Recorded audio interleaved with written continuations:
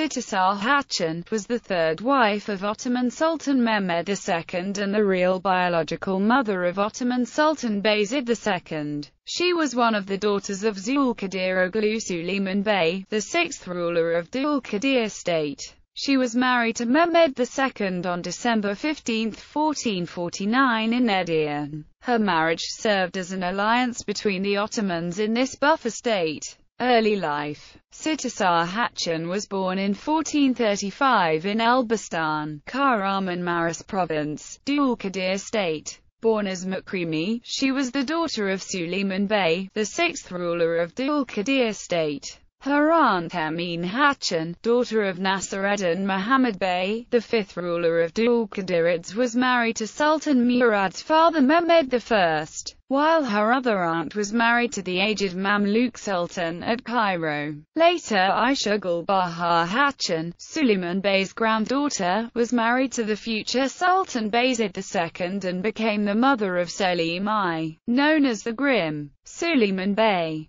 who is described as a man of unshapely corpulence and pathological sensuality but also as a skillful horseman and the owner of magnificent stables, possessed a considerable army of brave, devoted Turkmen and was fabulously wealthy. Two circumstances which in themselves sufficed to incline Murad toward the union of his son and heir with this respected noble families which, centuries later, though dispossessed of its lands, was still revered as a family of royal blood. The Byzantine chronicler Ducas was convinced, not without reason, that one of the Sultan's chief motives in seeking this marriage was to obtain an ally against the arrogant Karamanids and Jahanshah, the chief of the Turkmen Black Sheep tribe. Marriage When Mehmed turned 17, his father decided that he should to marry to a woman of inferior station for political purposes. The Sultan's choice fell on the wealthy and beautiful daughters of Suleiman Bey, the sixth ruler of Dulkadir state.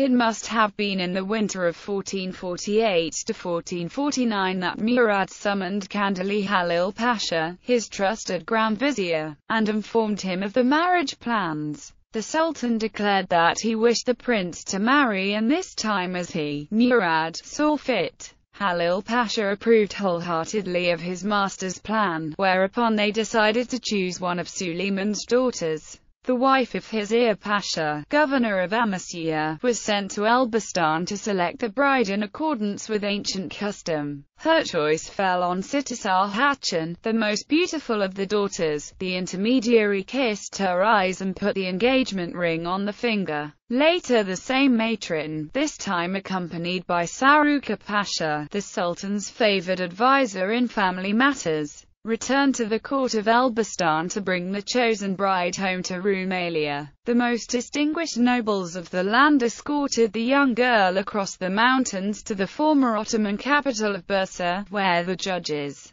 the ulema and the sheikhs of the religious orders came to meet her in solemn procession and then onward across the Dardanelles. At the news the cortege was approaching, Murad sent out the grandees of the realm from Edirne to meet his future daughter-in-law, who continued on the sultan's residence with her imposing retinue. The wedding took place on 15 December 1449 at Edirne and was celebrated with a great pomp for three months. Popular festivities of all sorts and poetry contests contributed to the rejoicings. The bridegroom, who had not been consulted on the choice of his bride, returned with her to Manisa immediately after the celebration. The marriages seemed to have childless and not very happy. Apparently, the whole arrangement was not to Mehmed liking. Death Long after Mehmed had removed his court to Istanbul, Sittişah Hatun remained behind Edirne, where she lived, lonely and forsaken, until the end of April 1467. She founded waqfs in Edirne and its region. Her Waqf in the old Ottoman capital constructed a mosque finished in 1485. Two years after the conclusion of the building works Sittişah Hatun died.